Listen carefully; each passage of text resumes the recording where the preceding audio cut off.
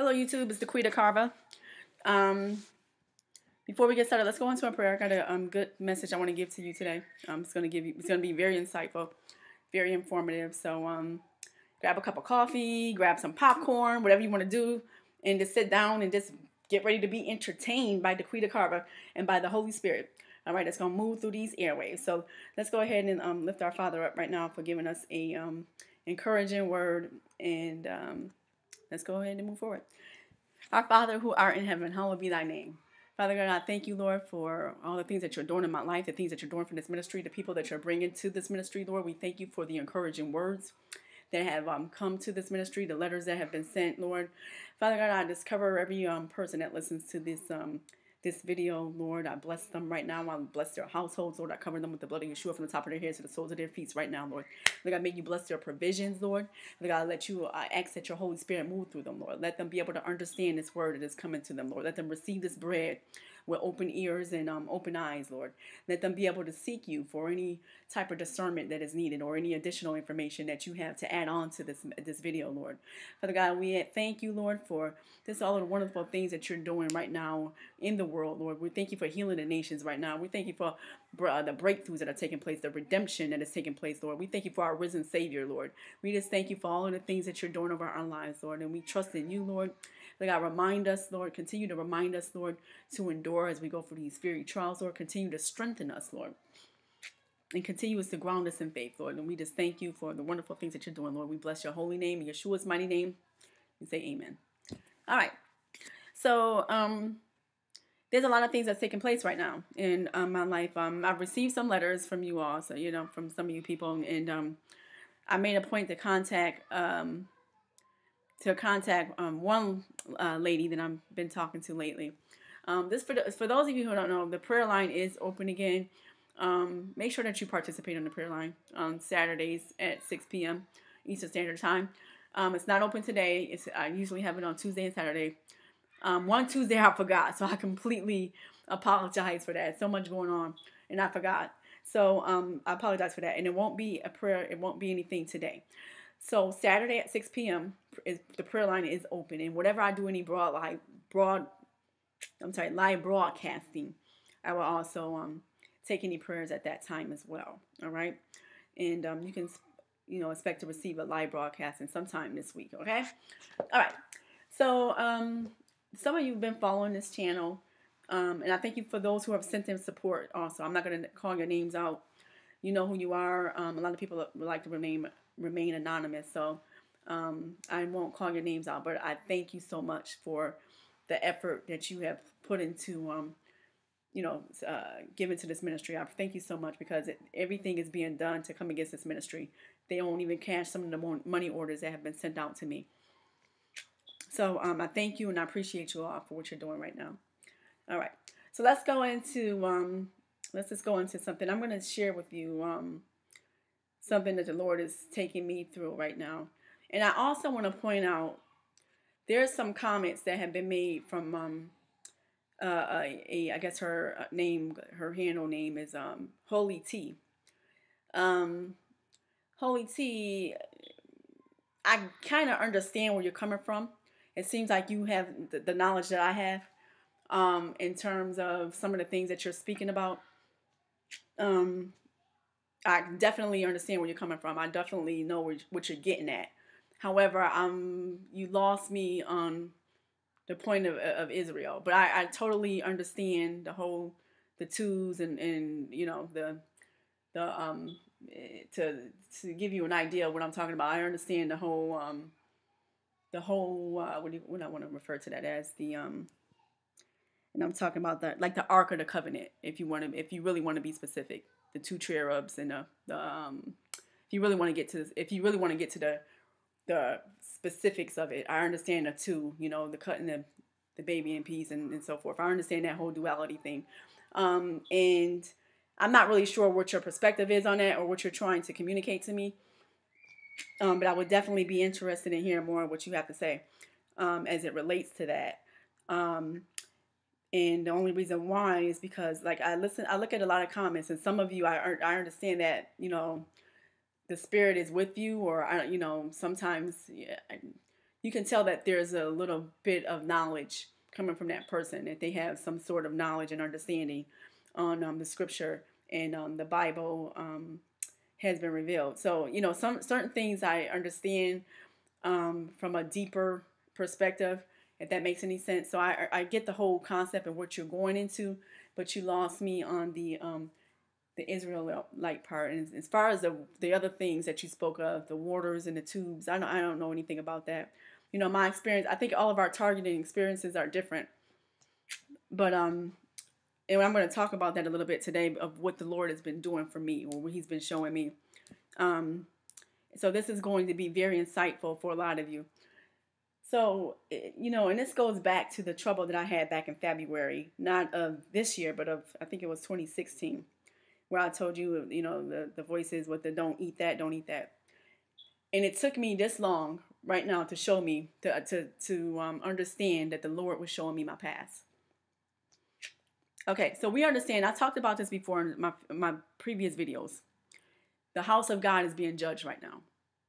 Why? Why is the house of God being judged? Who is the house of God? Okay, the 144,000. Okay.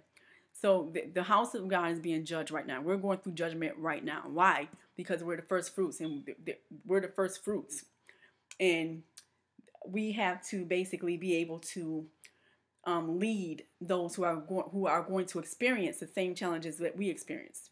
So basically, we're going through it first. Okay, so we are being judged first because we we're about to be removed. All right, so we're being judged first because we're about to go right in. When I say remove, meaning that we're about to go right into the swing of things. Like we're going to be sealed with the Holy Spirit, and then we're not. We're going to become um, uh, immune or um, unimpacted by any uh, further judgment because of, of the seal of the Holy Spirit. And we have already been judged. Okay? So, what this means is in order to judge something or in order to help or protect someone, you have to understand what they're going through. You have to have to have understood what they're experiencing. The only way that you can help anybody is to have gone through that experience, to have gone through that that tribulation yourself in order to help them. It's just like Yeshua like when he came and, and dwelt on the earth. He can't speak to our, he can't judge us, eh, I mean, fairly, if you want to say. He can't judge us fairly without first coming to understand how it's like to do, to live in the earth, how it's like to be tempted, how it's like to be um, uh, to receive um, hate and so forth. He has experienced it before he can judge us, uh, judge us righteously. Okay, so a lot of that, so a lot of the um, things that we're going through right now is because of that purpose. How can we how can we help and understand their experience if we haven't lived through it ourselves? So um, a lot of the things that we're receiving right now, we, we you know, especially for me, because my attacks have been this crazy. It's it's been ongoing, and I've been praying and praying and praying, and um, the Lord is finally, not finally, because He's been showing me all along, but I guess I'm finally understanding, you know, um, exactly what He's showing me. But He's showing me my past. And when I speak about certain experience, the garden experience, all of these things, he's basically showing me who I was in the past. Because I told you there'll be like certain thoughts that come, you know, and it's just like, what is all of, you know, what is all of this stuff happening? Happening, but these are things, and let me just show you how he revealed this. Um, I've always, in my life, is so divine. It's so, I mean, from the names of people that are in my life, they have every. God does nothing without a meaning, and I'm telling you, like He is, nothing in your life is done. If you really sit back and reflect and look at your life, the meaning of your name, the meaning, and my name is Ghetto, so that really doesn't apply. But my middle name, all the things that I'm going through, um, the streets you grew up on, the names of the street, what they mean, um, the address, you know, all these things. When you really understand that, the places you live, they they have a lot of meaning, and its significance, and they all tie into the same story. Okay. Um, everybody's experience is unique and specific to their life and specific to their purpose. Okay, so um, a lot of things that he's showed me, and I'm just that was creating confusion. Is like I'm like, what does this have to? do? You know, he's showing me things, but he's showing me my past. He's showing me what I'm being judged on. He's showing me the past, the things that I've done in the past. Because remember, I said that everyone here is here for judgment. We're all here for judgment right now. So he showed me my past. Now I've always had a love for poetry, not as much as I do right now, but um, I used to watch Def Poetry Jam um, back when it came on on HBO. I used to love Def Poetry Jam. I felt like I could relate to some of it. I understood it. I can relate to some of it. Um, but the the time for me has been so dark right now.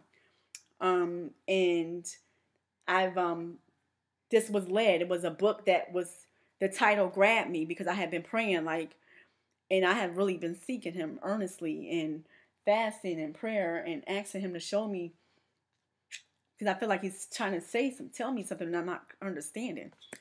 And um I've been asking about certain things, you know, um, you know, revelations and so forth. So he showed me through poetry.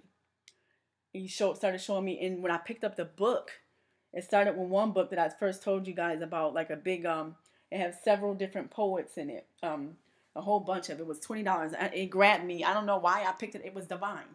Um, hold on a second. I'm going to give you the name of the, the, the book. But um, it's a treasury of class, classic poetry. It has people like William Blake, um, Edgar Allan Poe, William Shakespeare. You know, all different times of poetry. And this is, you know, these are divinely written. Okay, so for those of you, and they're very, they're very, they're in alignment with the Bible. Like if you, um, it goes back to me saying like, um, anytime God shows us anything, okay, that's for us. He shows us things through other people. Now the people may not even know what they're writing. They may not, they, you know, just because you're a writer doesn't mean that the writing is necessarily for you. They could be writing a story that applies to somebody else's life without really knowing that they're impacting another person's life or they just answered another question for a person.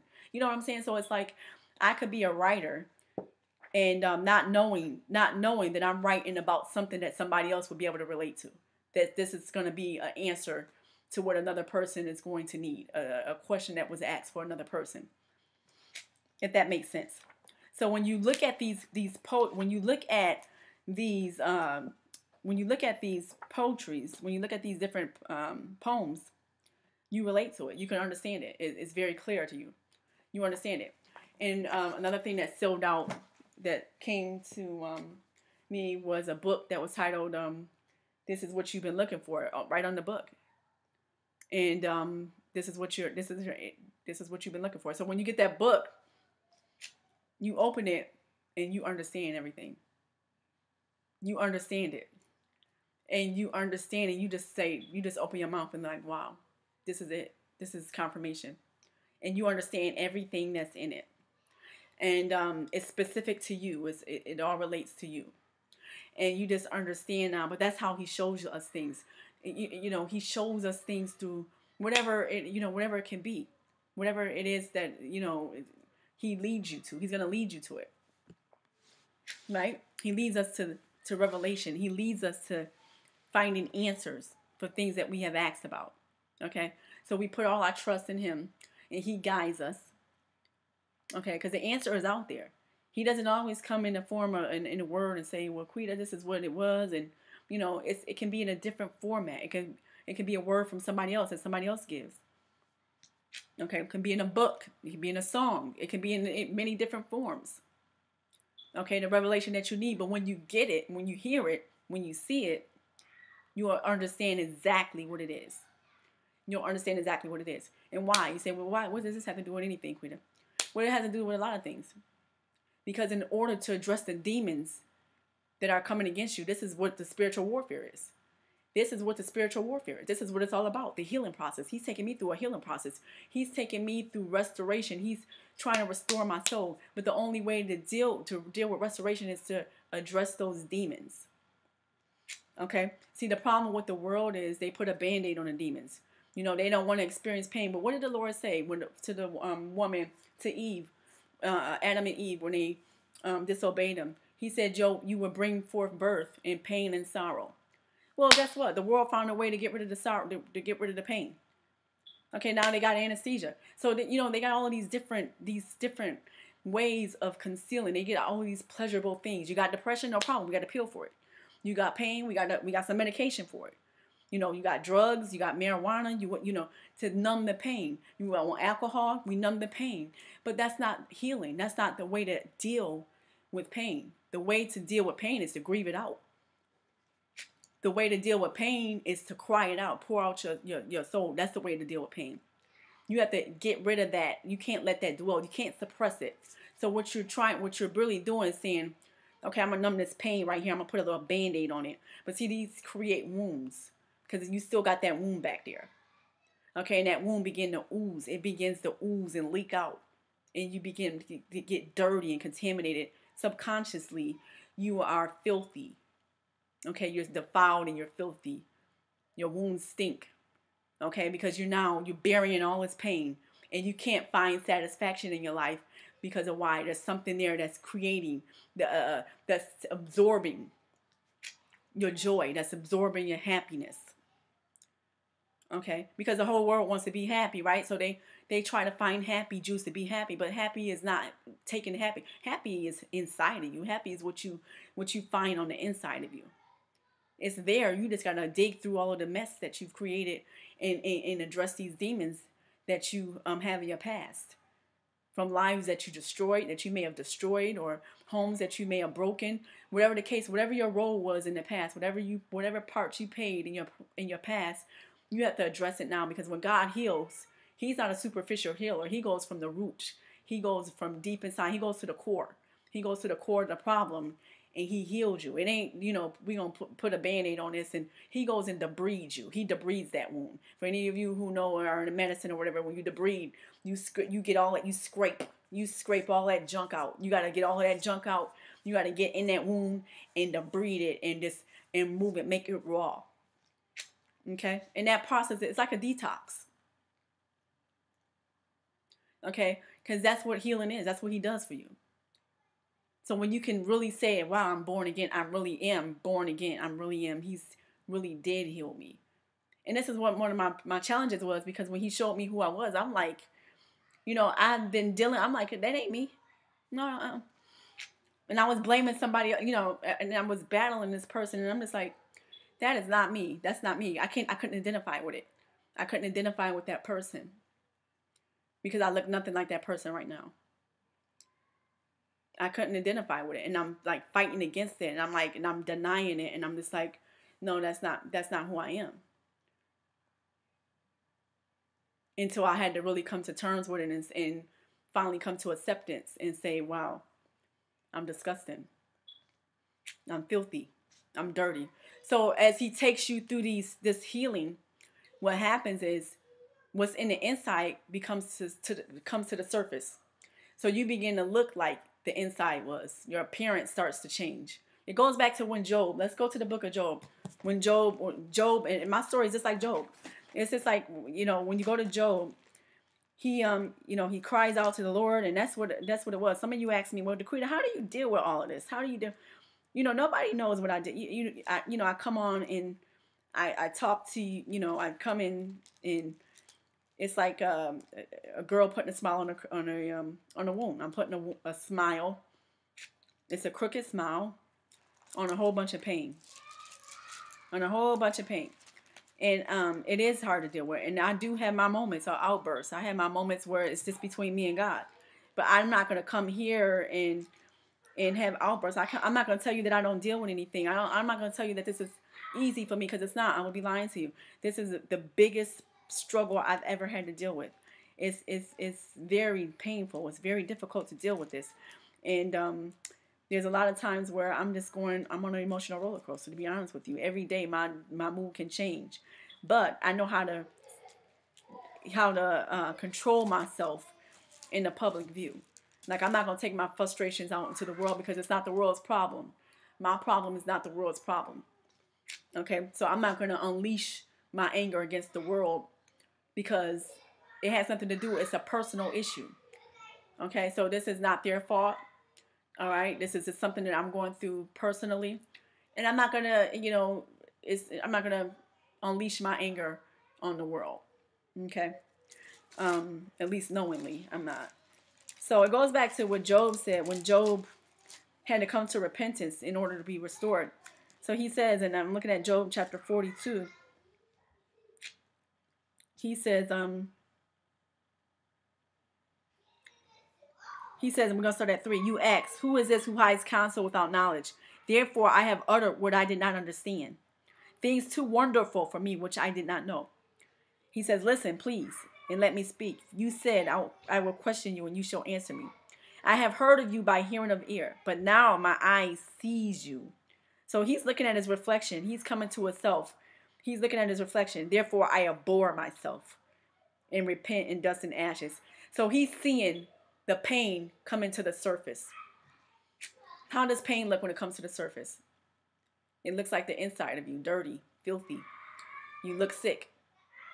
You look like you are. I look like I, you know, thin, and you look. You just look. You don't look like yourself. People will be like, "What happened to you?" That's what pain looks like. What What happened to you? What's she going through? So now he looks at himself in a different light, and he's saying, "Wow, I'm abominable. I'm I'm disgust. You know, I'm disgusting. I abhor myself. I hate that. I hate who I am, and I repent." because the Lord has showed him. The Lord showed him who he who he is, who he was rather. And that's what we're being judged on. So we have to we have to come to terms with that and we have to realize that's part of the healing. And see, the world doesn't want you to heal. They want to just put something on top of it. They want you because when you heal, you spiritually break out. You break out spiritually. That's that's spiritual awakening. That's really that's really going into higher dimensions. Now you're really going into higher dimensions and higher realms. Now you're really being used. When you get to that part where you come to repentance and you being restored, and He cleaned you out, He cleaned all those dirty pipes out. Oh, He about to use you in a major way. You about to use, be used in a major way. That's why He's just cleansing. He has to cleanse. He's not a surface cleanser. He goes from the inside and He makes you deal with it. Like these your demons you create. You gotta address it. You gotta address this. And you start addressing those demons. You can't dwell with me anymore. And you start to love, and you have to love and love yourself, and you have to understand that God is love, and He, if He can love you in that condition, in what you were, then you have no, you have, you have to give it back. You have to give that love back to those who need it, and understand what you hated was you what you absolutely could not stand, what you sat here and talked about and, and complained about and talked about was you. That was you. And you can't do anything but just give him so much thanks and so much praise because he forgave you and he loved you. And that I mean to love to love that to love you like that. And that's what Israel is. Israel, we, we are abominable. We did some wicked stuff. We damage lives. We damage lives. I mean, we really mess people up. So that's hard. That pain is hard to deal with, and that's a healing process. It takes, and it, you can't. He's like, you ain't gonna, you ain't commit suicide for this. You ain't. I'm not. You ain't. You're not gonna do drugs for this. You gonna take. You gonna take this pain. You gonna deal with this. He said, you will have he told the woman you are in travail you gonna you gonna birth this thing you gonna birth this you gonna you have to deal with this you have to deal with this pain you gonna and you gonna deal with pain you gonna deal with this pain. So that's what he's saying. So it's one of those things where um he shows us our past. He shows us in order for us to move forward and we have to it, you know, it's a healing process, and we have to deal with that healing. And um, because I, I was really having a hard time, I was having a hard time with the afflictions, and I just didn't understand, and it was just like I just couldn't understand it until I mean, I guess it just sunk in one, you know, the other day, and I'm just like, oh wow, and I'm just like the, you know, rightfully so, you know, rightfully so. So it's just one of those things that we have to understand the things that he shows us. He's taking us through a transformation. He's taking us through a process in which we can learn to to um, grow from and understand. So it's just one of those things where you have to know who you are, know um, what He's doing in your life. And I'm not saying it's gonna, it's easy because you know it, it's not nothing is easy. Um, but the more you the more you understand is the more that you can appreciate what He's doing for you and um, these are scars that you have created, and um, you have to heal these scars. I don't know if you guys ever watched the Slumdog Millionaire, but Slumdog Millionaire is a great example of this. His, you know, he had a. a I love that movie. He, um, one the, the guy who went on the um, show, uh, Who Wants to Be a Millionaire, had a, a girlfriend from his youth, and um, he loved this girl, and um, she had they had cut her face because he was, tr- she was trying to get to him, and they found her. She left her um, her husband because it was a forced marriage, and she didn't want to be with him, and she escaped and um, tried to go meet him because the, the, young man said that he would meet her where she was. But they found her and they cut her face. They sliced her face, so she had a wound. She had a scar on her face, and she was. You can tell that in the movie she was self conscious because at the end, I don't really want to give away the movie if you didn't see it, but at the end, you know, he, they finally got together and um, he um, she was so you can see as he looked at her scar, she was self conscious because she had, she was beautiful and she had a long scar on her face from the knife slit and um, she was self-conscious when he like looked at the scar and touched it. And um, he you know he knew she was self-conscious and he just kissed it. And um, that was just so beautiful because it was just like love. It was just like you know i love you. Like i know what you are. Like i know you inside and out. That's inside god the love of god. He knows us like you guys say oh you handle it so well but god knows me. God knows the good ugly and the bad. He knows me inside out. He knows what's in the darkness and um, he loves me.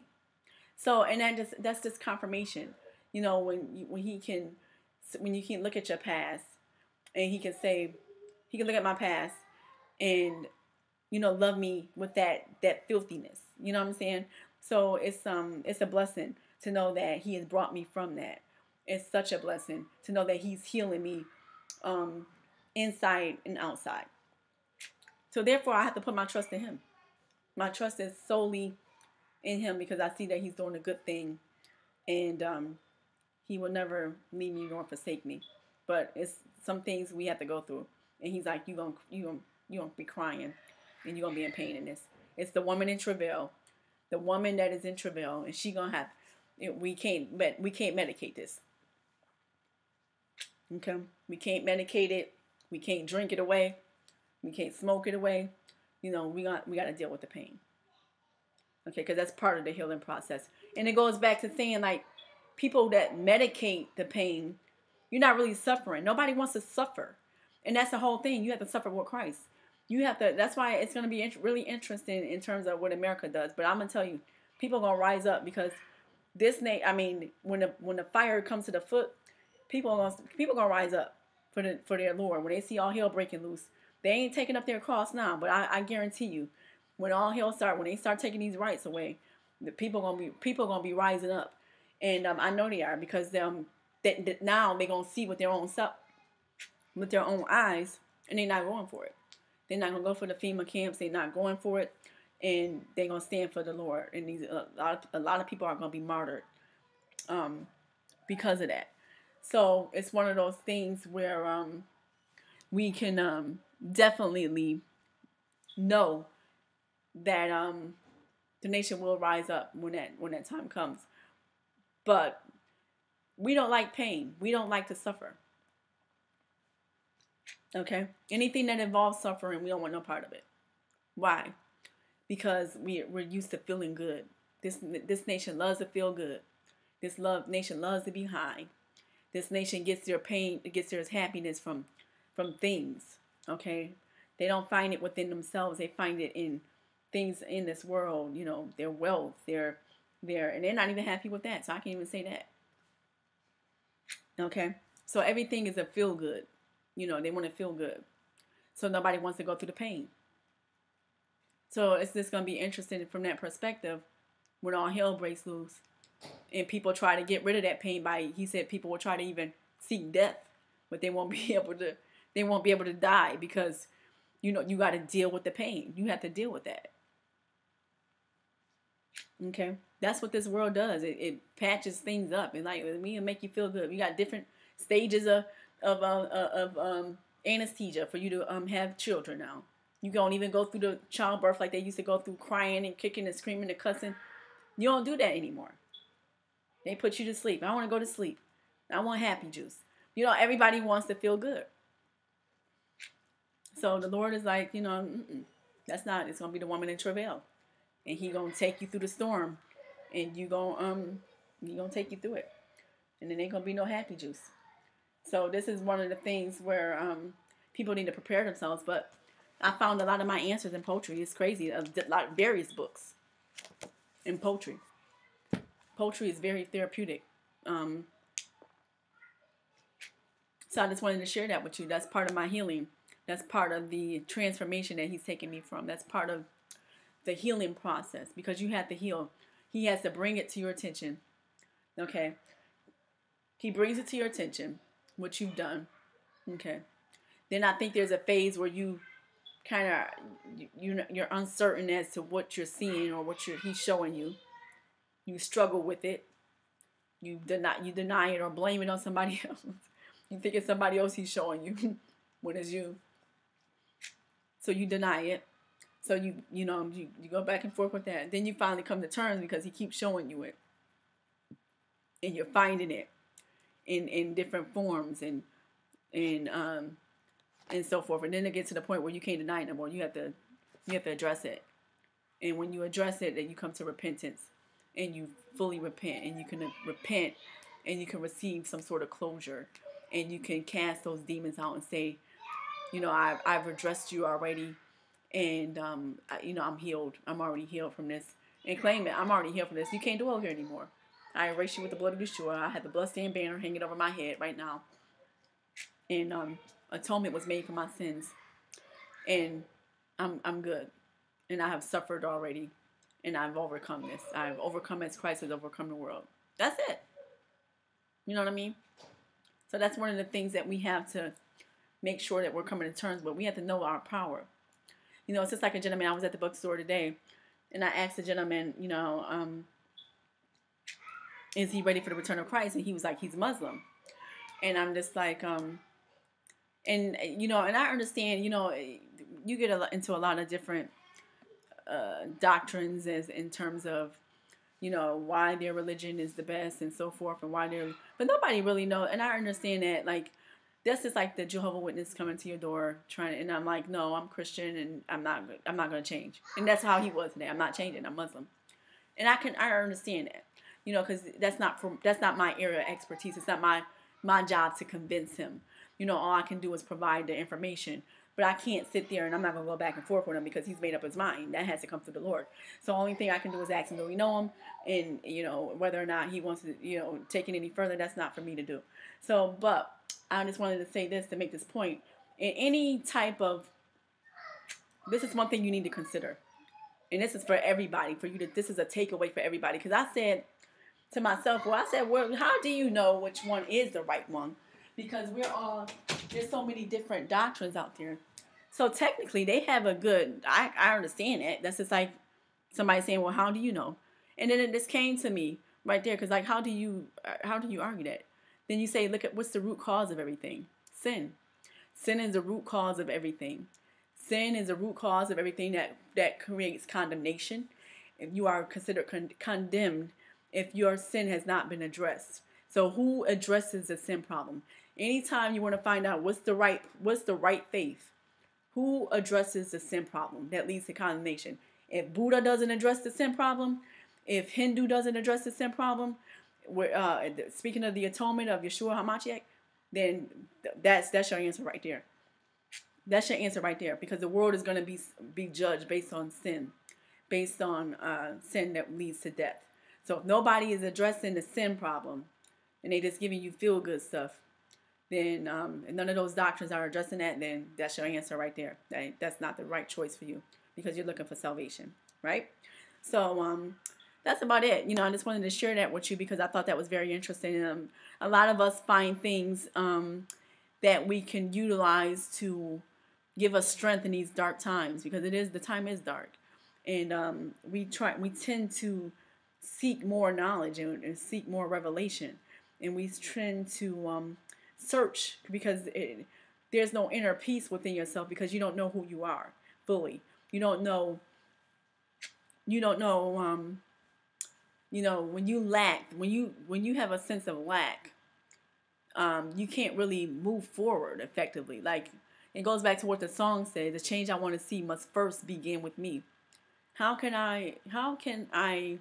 lead effectively right if i have if there's still answers that i have within myself if i'm still seeking and searching how can i be an effective leader where i don't i have to first know myself fully inside out i first i first have to know myself before i can help anyone on a larger scale you know so it comes to a point where you have to look at your inner self and begin to um, look at it analytically and address these things that come against you and um, that's it. That's what it is. That's what it all boils down to. So that's what I've learned to do.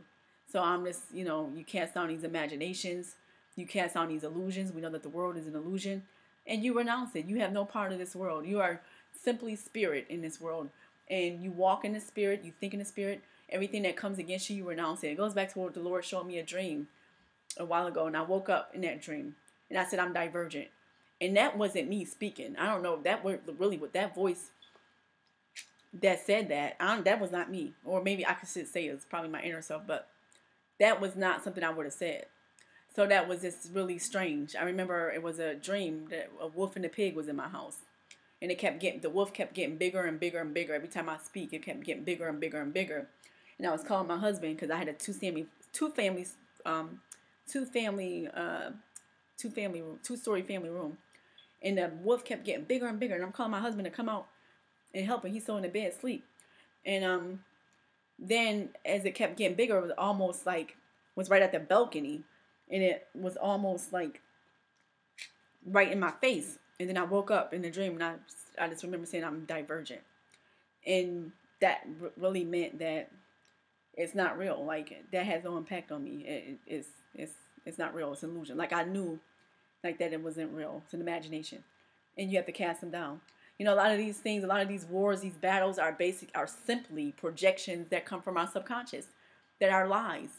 Okay, it's in, in and until you address it, and until you uproot those trees that have been planted by the wicked kingdom, you have to uproot those trees and those demons and say, and, you know, I, I, cleanse you out with the blood of Yeshua. I flush you out. I'm, I cleanse you out.